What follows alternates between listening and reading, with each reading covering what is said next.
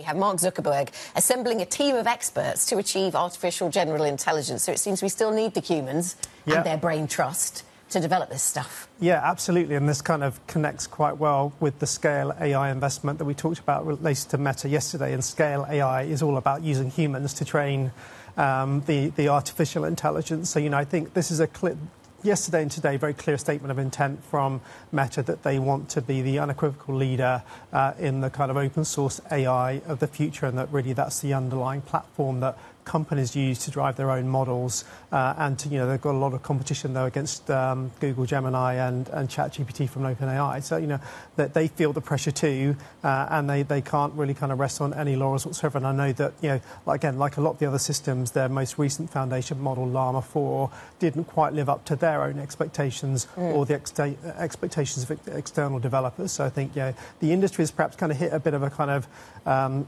niggle point, if you like, in terms of you know the kind of next evolutions of AI are not coming quite through at the pace they thought they would, and there's more, you know, smart work to be done by super smart engineers to kind of um, kind of make that next step forward.